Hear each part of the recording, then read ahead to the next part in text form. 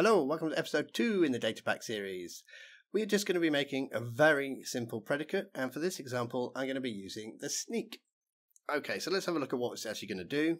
It's quite simple. We have a repeating command block, and inside there, we are checking to see if we are sneaking using a predicate. If I sneak, it says you are sneaking. Pretty simple. Not much point wasting any more time waffling about an intro, because I think that explained it quite well. So let's get on and build it now. Okay, since we're making a predicate, we're going to start in Misode's predicate generator, link in the description. And what I want to do is make a simple is crouching or is sneaking predicate. That's quite a nice easy one. We'll just go down to flags down here and we'll just pick sneaking equals true and we have our predicate made for us. So I'm going to copy that. Control copy. It'd be nice to know where the predicate goes though. So let's look at the wiki and the wiki is going to tell us where we need to put it. So predicate files are part of the datapack directory structure highlighted below. Datapack name, data, namespace, predicate. And it goes in there. So I need a new folder called predicate. Okay, I think we can do that. Let's pop over to VS Code. Now, if you don't know how to get to this point, you can watch episode one, link in the description.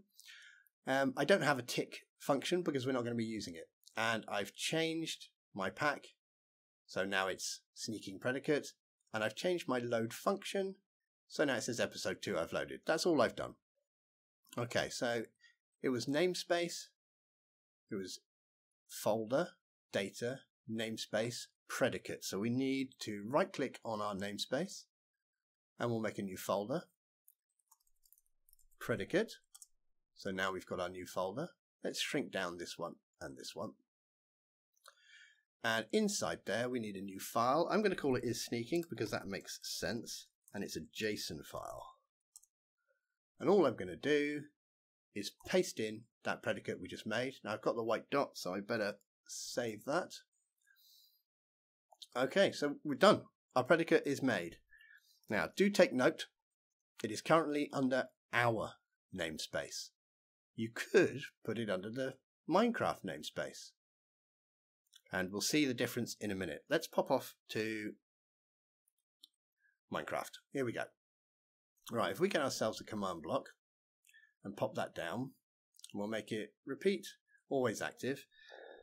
And we'll just do a tell raw. Tell raw for all players. And we'll make a nice, a nice little tell raw that just says something like, uh, you are sneaking. Okay, so we can see this is going to run for every player all the time. Let's use our predicate. Predicate equals now, if I just put its name is sneaking, and we press done, and I shrink, and I shrink, I'm not shrinking, I'm, I'm sneaking and crouching. Nothing's happening. Because we haven't defined our namespace, it's looking inside the Minecraft namespace. We didn't put our predicate there, we put it inside our namespace, which is infernal device, YouTube, 002, colon. Okay, so let's actually go and look. Where is this? IDY2, IDYT underline 002 colon is sneaking. Let's pop back to VS Code. We have IDYT, so it's our namespace, and we ignore function and we ignore the predicate directory because it knows the predicates should be in there. So it's this name here, our namespace, and this name here, our predicate. That's what we're checking. Let's go back. Let's say done, and let's do a little bit of a sneak. Yep, there we go. You are sneaking. Now we can call this in a different way as well. Let's get rid of all of this. And let's do this at S.